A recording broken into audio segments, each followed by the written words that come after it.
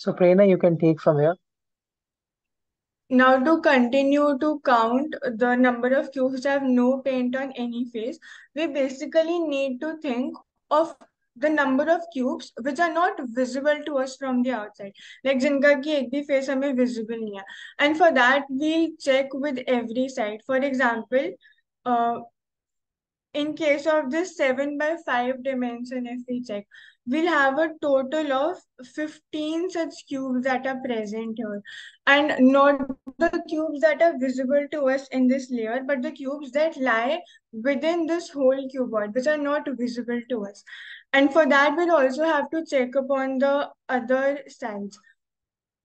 For example, in this one, like if we check with every side, in case of 7, in case of the dimension of 7, we'll have 5 such cubes that uh, won't be visible to us.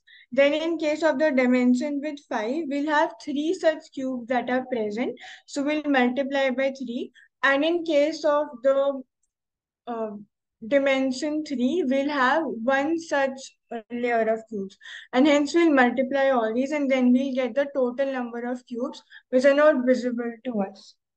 So this we can, this way we can find out the number of cubes and hence the first uh, option is correct. Now moving on to the second option, there are exactly six small cubes with exactly two faces painted. One painted with blue and the other with green. तो basically here we're talking about कि हमें number of cubes पता लगाने हैं जिनके सिर्फ़ दो he faces जो है वो पेंटेड है वो भी ब्लू और ग्रीन कलर से So in that case, if we consider with like blue and green, so blue and green में एक तो ये वाली side हो गई, like this if I mark here. So this is one cube that is painted with blue and green. Then if you focus upon this particular cube, तो पीछे से ये भी blue colored है and यहाँ से ये green colored है. And same is the case with this. And the another, the fourth cube is present at the back, which is not visible to us. So there are total four such number of cubes. But here the option says that we have six small cubes with, with the exactly two faces, one painted with blue and the another with green. So which means that the second option is wrong.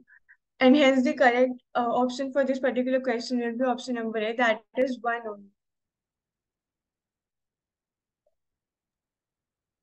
प्रवेश तो in case sir मैं बल नहीं आया हाँ इससे क्या करना है ना इसमें पहले तो है कि जिन्होंने अच्छा ड्राइंग बनाया ओवरऑल बताया गया कि एक तरफ़ रेड है ब्लू है और ग्रीन है। तो कितने साइड ग्रीन है? तो दो जगह दो साइड ग्रीन है, दो जगह रेड है एंड दो साइड इज़ ब्लू तो सबका दिया हुआ है डायमेंशन दिया हुआ है seven into five into five into three और सेवन इंटू थ्री तो seven into five into three dimension दिया हुआ है तो ऐसे बना दिया, ऐसा बनेगा क्यूब तो पैरल पूछे fifteen small cube with no paint on any face तो कैसा वो दिखेगा? तो अगर आप इस तरफ़ देखोगे जहाँ से रेड तरफ़ देखोगे ब्लू साइड से तो किस तरफ़ रहेगा जिसका कोई पेंट ही नहीं होगा? तो बीच में होगा वो बेसिक तो बीच में आप कौन करो जैसे मार्क करो एक बार दूसरे पेन से मार्क करो प्रेरणा हाँ जो कहीं दिखे। नहीं ये जो पहले वाली स्टेटमेंट है ना हम्म। ये तो एग्जैक्टली exactly आंसर मतलब निकल रहा है क्योंकि वन सेंटीमीटर में अगर काटेंगे तो बीच बीच वाले जो पंद्रह हाँ सही में ये चीज़ बॉक्सेस होंगे ऊपर से गिन लोगे। हाँ दूसरे दूसरे अपना वाला दूसरे दूसरे वाला वाला में नहीं क्या दिया पूछा हुआ है कि टू फेस एग्जैक्टली पेंट होना चाहिए लेकिन एक पेंट उसका ब्लू होना चाहिए दूसरा ग्रीन होना चाहिए। तो मार्क करो पेंट इसमें। ये वाला हो हाँ गया देखो ये वाला एक गया। एक रेड है तो ए- ये एक विजुअली ग्रीन है काउंट हाँ। करना यस विजुअली काउंट करो चार हो गया ना ऐसे ऊपर वाला नहीं होगा हम्म क्योंकि ऊपर वाला में तीन तीन है। रेड भी ऊपर में साइड में ग्रीन है एक जगह ब्लू है। तो तो ऊपर ये वाले हैं इनको नहीं हाँ काउंट करना। हाँ और क्योंकि यहाँ उसमें पे तो तीन सिर्फ़ फेस है।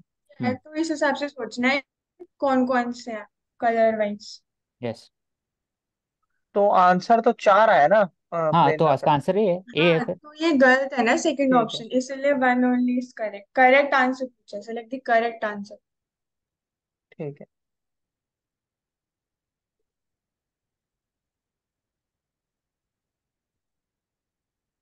सो अब हम देखते हैं क्वेश्चन नंबर सिक्सटी फाइव जो कह रहा है कि in an examination the maximum marks for each of the four papers, namely PQRS, are 100. Marks scored by the students are in integers, and a student can score 99% in different ways. What is the value of n? So, Prerna, तो what is इसको the uh, meaning of n here?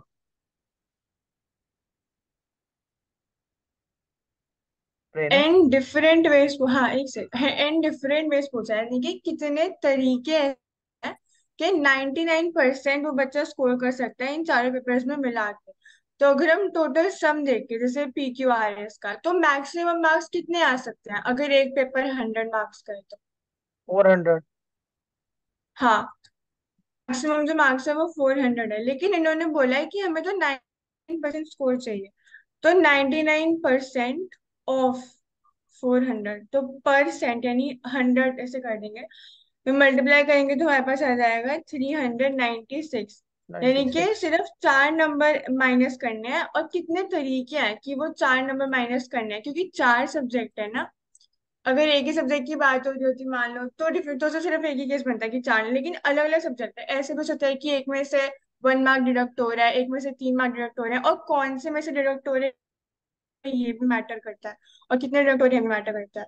और दूसरा यहाँ पे लिखा है integers यानी कि डेसिमल की बात नहीं हो रही प्योरली जैसे 99 आ रहे हैं या 98 आ रहे हैं इस तरीके से बात हो रही है। 98.2 वगैरह ऐसे तो फिर बहुत हो जाता कॉम्प्लिकेटेड तो इस वजह से सिर्फ़ इंटीजर्स की बात हो रही है स्पेसिफाई कर रखा है। तो will just write here P Q R S आपका टोटल तो ये थ्री फोर नाइन्टी सिक्स होना चाहिए ये निकालना। है हाँ। हम्म। हाँ। तो अब जो ये फोर मार्क्स है, इनको हम कैसे डिस्ट्रीब्यूट कर सकते हैं? या तो ऐसा हो सकता है कि भाई सारे जो पेपर्स हैं, इनमें से वन वन मार्क डिडक्ट हो रहा है ना? तो इन टोटल फोर डिडक्ट हो रहा है तो थ्री नाइन्टी सिक्स आ रहे हैं। दूसरा तरीका ऐसा भी हो सकता है कि एक में से टू मार्क्स डिडक्ट हो रहे हैं, फिर वन फिर बाकी में से वन फिर थ्री वन का भी हो सकता है। तो ऐसे करके अलग अलग ये वेज है इन, इस फोर को डिस्ट्रीब्यूट करने के अमंग द पेपर्स तो अगर हम सिंपली मार्क्स लिखे, जैसे अगर हम ये पहले वाला केस मान के चले तो will get 99 in each case कि हर तो 99 जो मार्क्स है, इनको चार अगर हमें इन चीज़ों में वेज तरीके निकालना है तो it will be four factorial लेकिन बिकॉज़ 99 मार्क्स इनमें तो हम अगेन इसको डिवाइड कर देंगे फोर फैक्टोरियल से। क्योंकि ये चार बार रिपीट हो रहा है 99 डिफरेंट होएगा तब टू से करेंगे, वो डिफरेंट चीज़ है। इसको अगर सॉल्व करेंगे तो we'll just have one way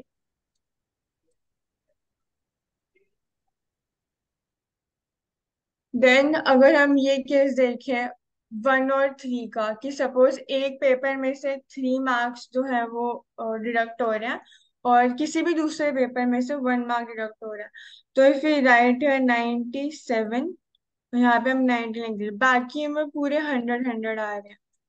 तो इस तरीके से, अब जैसे यहाँ पे चार एलिमेंट्स हैं यहाँ पे तो again we write four factorial लेकिन इनमें से जो ये दो है ना, ये रिपीट हो रहे हैं, यानी कि ये दोबारा आ रहा है तो अगर आर और एस को मान लो हंड्रेड मिल रहा है या एस और आर को तो उससे फ़र्क नहीं पड़ेगा, इसलिए हम डिवाइड करते हैं उन सब वेज को।